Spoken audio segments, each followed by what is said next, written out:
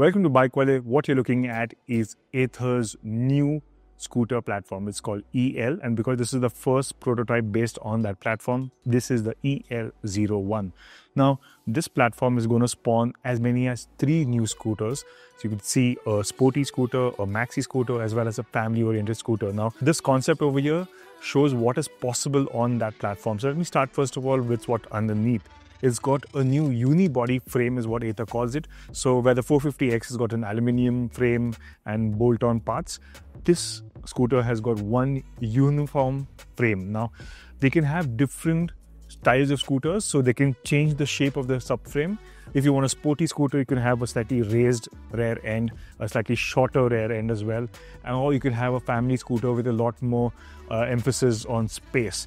Um, now, underpinning that frame is a new telescopic fork at the front, and there'll be a monoshock at the rear that has a lot more travel than what you find on a 450X. Well, the 450X has got a monoshock.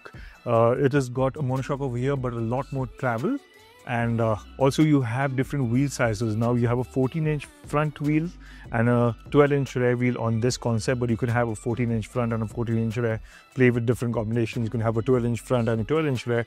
So depending on what the application is this platform is quite modular. And as for the batteries well the battery sizes are going to range between 2 kilowatt hours to 5 kilowatt hours depending on obviously the variants. Coming to the motor, this is the first time ever that Ather has incorporated a swing arm mounted motor uh, and not a frame mounted motor that you find on the 450X. So there's no annoying uh, sound coming from the uh, from the belt drive because this is a swing arm mounted uh, motor.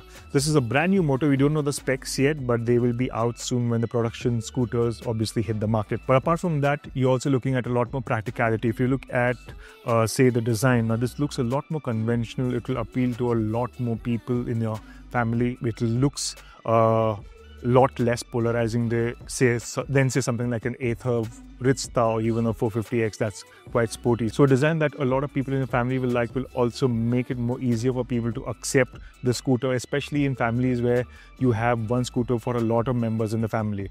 Uh, let's talk about the design actually. It's quite uh, quite a likable design, I would say. This is again not a production scooter, but rather a prototype in an advanced stage. But still, you can see some nice Ather design elements like the LED DRL over here.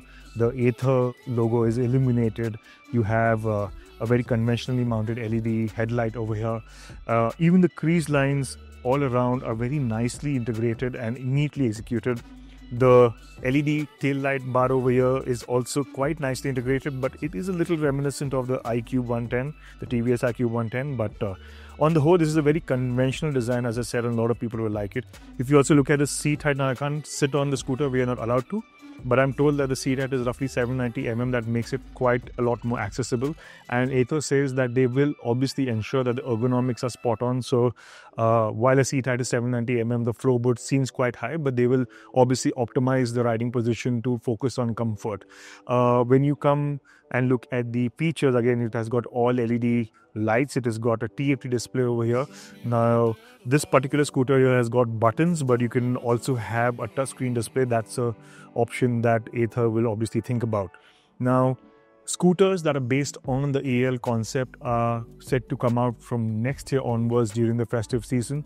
Another interesting feature is the inclusion of ADAS, and uh, that is another good safety feature that Ather is thinking about. And then you also have electronic uh, brakes over here. It's sort of like a more advanced version of CBS, but you can also incorporate ABS, and that is something that Ather might probably think about, or if the government mandates it. So on the whole, I think it, Ather's future looks quite promising. This is a very, very different platform, new motor, new suspension. They're again targeting a much wider audience now. We've seen how the how the customers have reacted to the Rizta. It is a very family-oriented scooter, unlike the sporty 450X series. And now you have a new platform that's going to spawn three different scooters. So they're targeting a much wider base.